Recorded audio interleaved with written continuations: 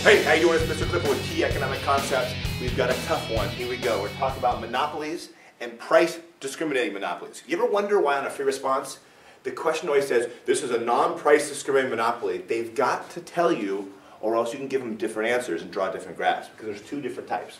Now we're talking about a perfectly price discriminating monopoly over there, but before we do that, let's look at a regular monopoly.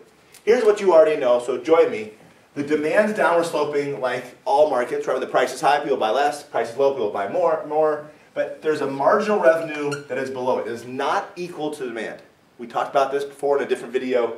Here's why. To sell another unit, the firm has to lower the price of the next unit and the units it would have sold at a higher price. So the additional revenue that these monopolies get is not the price of the next unit, it's the price of the next unit minus the money they could have made by selling the price at a higher price for previous units. Did you get that? The point is marginal revenue is less than demand. That's a concept. Marginal cost looks like this.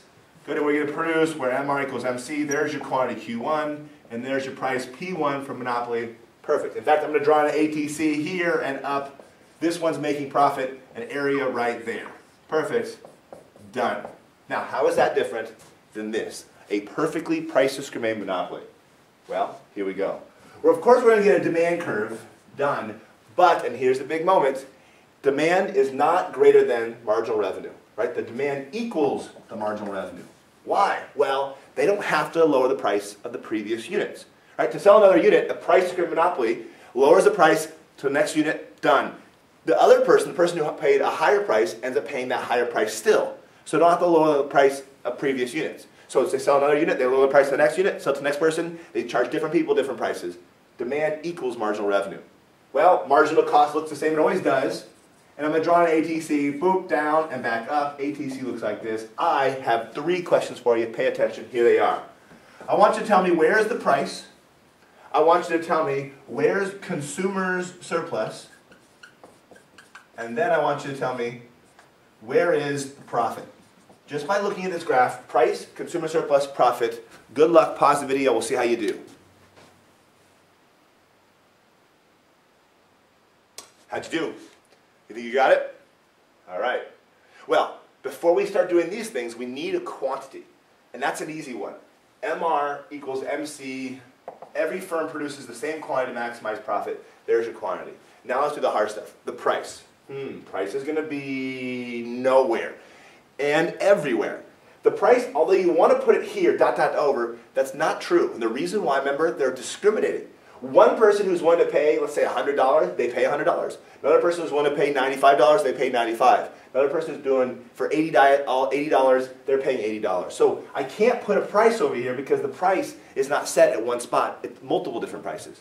Sorry, trick question. Price, can't put it on there. How about consumer surplus? Well, it's right nowhere. There is no consumer surplus. Seriously? Seriously. The people who are willing to pay 100, how much they pay? 100. People willing to pay 95 paid 95. People willing to pay 80 paid 80. No consumer surplus. Sorry, trick question. How about profit? It's there. It's right there. Do you see it? Let's look. When I produce this quantity, bam, down to ATC and over, that gives me my average total cost of producing this quantity. I sold this unit for this price, there's my average total cost. This unit for that price, average total cost. This whole area, bam, bam, bam, bam, bam, is profit right there. Now, compare the two. Profit, boom. Why do you price discriminate? Because it's going to give you more profit. Now, another little question, little trick here. What about quantity? What can you say about quantity for this one? Well, it's greater.